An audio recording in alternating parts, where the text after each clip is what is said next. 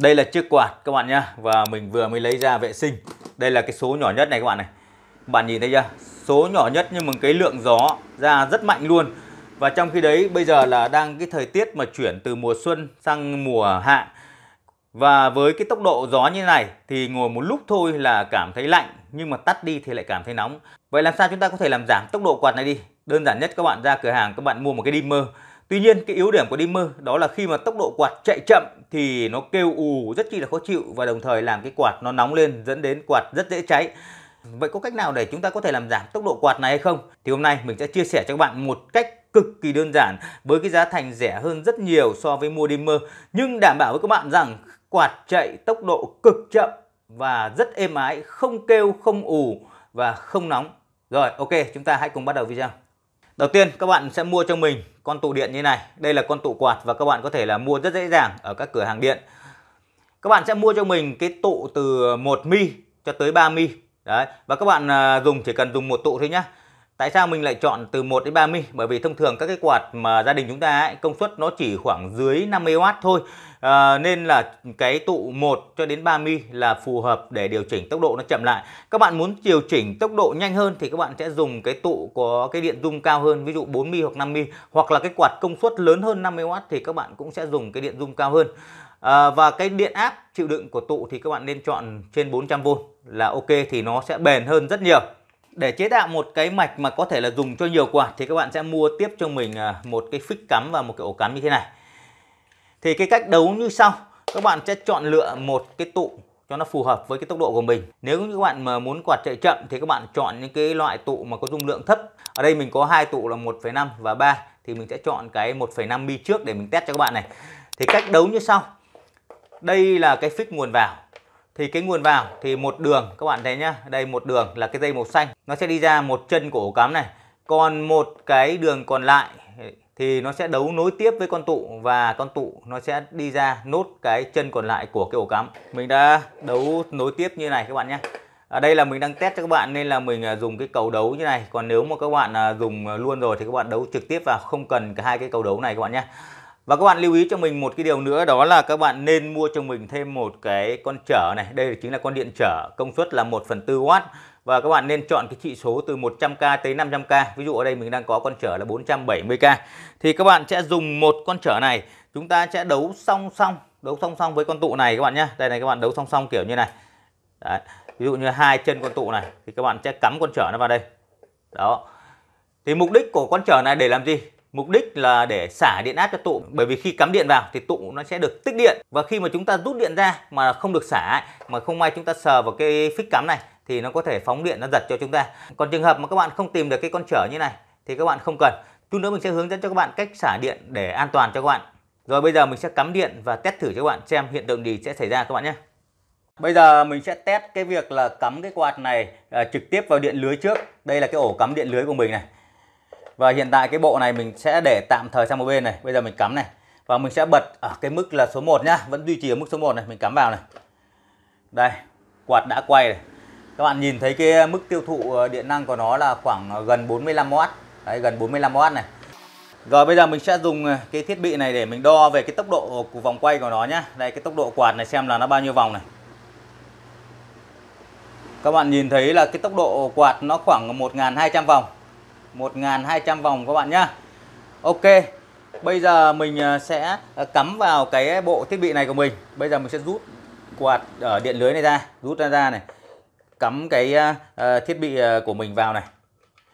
Hiện tại mình đang dùng cái tụ là 1,5 mi nhá. Rồi chúng ta sẽ cắm vào cái ổ cắm đầu ra. Đây là cái dây quạt cắm đầu ra. Rồi các bạn nhìn nào. Vẫn nó bật ở số 1 nhá. Đây các bạn nhìn thấy tốc độ quạt này.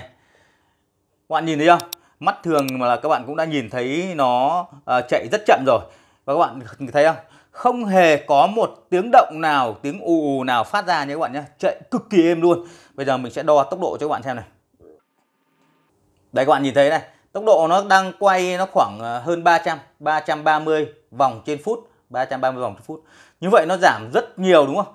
Các bạn thấy là trước đấy là 1.200 vòng mà bây giờ nó khoảng hơn 300 vòng trên phút là tốc độ nó đã quay giảm đi rất nhiều rồi và với cái tốc độ này nó phe phe phẩy phẩy như này thôi à, nó cực kỳ phù hợp cho những gia đình nào mà có trẻ nhỏ người già Đấy, và nhất là cái thời tiết nó đang thay đổi như này thì chúng ta nên dùng cái tốc độ nó chậm như này thôi.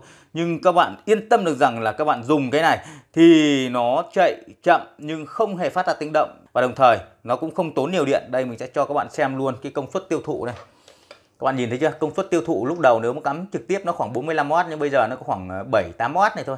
Đó. Còn nếu như các bạn mà muốn nó tốc độ nó chạy nhanh hơn thì các bạn sẽ thay con tụ này, con tụ này.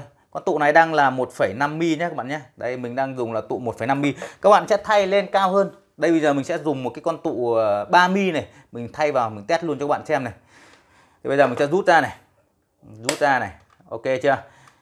Thì khi mà các bạn rút cái bộ này ra mình lưu ý với các bạn là nếu như các bạn có con điện trở để xả à, thì không sao. Nhưng nếu mà không có con điện trở xả thì các bạn không được động vào hai cái cực này và các bạn cần phải làm cái thao tác xả điện ở tụ bằng cách như sau.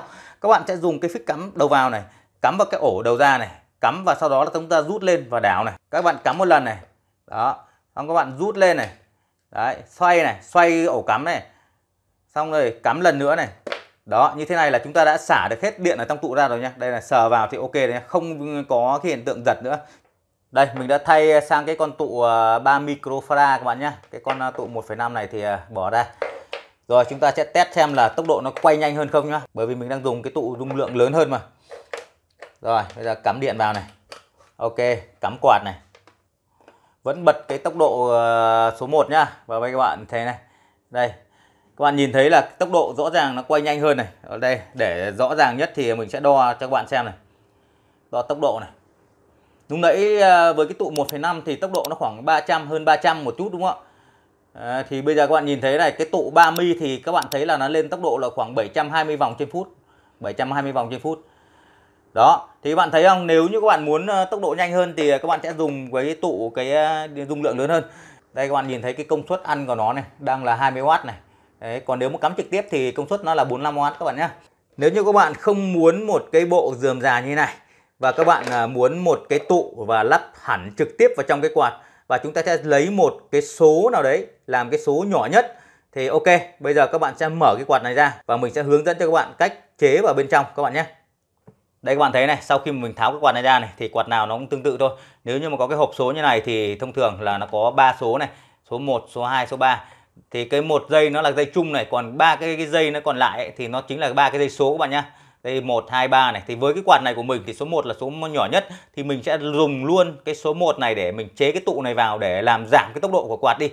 Thì bằng cách là các bạn sẽ dứt cái dây này ra cắt cái dây này số 1 này vào khỏi cái cái hộp số này ra. Sau đó là mình sẽ đấu nối tiếp với cái tụ này. Có nghĩa là một đầu của tụ mình sẽ đấu vào hộp số và còn đầu còn lại sẽ nối vào cái dây đỏ đây, mình đã ờ, gắn cái tụ này vào nhé các bạn nhé thì ờ, mình đã cắt cái dây số 1 ra khỏi hộp số này. Cái một đầu của tụ mình sẽ gắn vào hộp số này. Đầu còn lại của tụ mình sẽ nối vào cái dây số 1 chính là cái dây đỏ này. Sau đó các bạn à, sẽ gắn con tụ này vào một cái vị trí nào đó. Đây đây chính là cái phích cắm của quạt các bạn nhé bây giờ mình sẽ cắm trực tiếp vào điện lưới, không cần phải cắm qua đâu nữa. Các bạn cứ cắm vào ổ cắm điện lưới của nhà mình thôi. Đấy, bây giờ mình sẽ bật này. Bật số 2 là số mạnh này đấy. Số 3 là cái số to nhất này. Bạn thấy chưa? Còn nếu như các bạn mà muốn số nhỏ à, hơn à, thì là lúc nãy mình đã chế vào số 1 đúng không? Bây giờ mình bật số 1 này các bạn thấy nhá. Đây cái tốc độ số 1 này các bạn nhìn thấy nó chạy cực kỳ nhẹ nhàng êm ái đúng không? Đấy nó chạy cực kỳ êm không hề phát ra tiếng động luôn. Nhưng mà với cách này thì các bạn thấy rằng là cái việc mà sử dụng nó cực kỳ đơn giản chúng ta chỉ cần cắm vào điện lưới thôi. À, có một cái điều mình lưu ý là với cách này thì các bạn phải tìm cho mình một con điện trở như thế này nhá khoảng 100k đến 400k chúng ta sẽ nối song song với con tụ điện.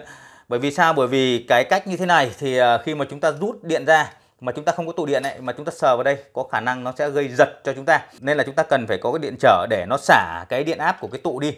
Với cái việc mà chúng ta chế hẳn con tụ vào bên trong quạt ấy thì nó tiện dụng hơn rất nhiều cho những người ở trong gia đình của chúng ta nhất là chỉ người già và trẻ nhỏ. Bằng việc là chúng ta chỉ cần cắm điện vào thôi và chúng ta muốn chọn cái số nào chọn thôi thấp nhất thì chúng ta bật số 1 còn nếu như mà muốn mạnh thì vẫn bật số 2 số 3 à, quạt nó vẫn chạy bình thường. Ok, mình cũng vừa mới chia sẻ và hướng dẫn cho các bạn cách chế tạo một cái quạt mà quay chậm nhưng không kêu, không ủ, không tốn điện. Cảm ơn các bạn đã theo dõi video của mình. Hẹn gặp lại các bạn trong các video sau.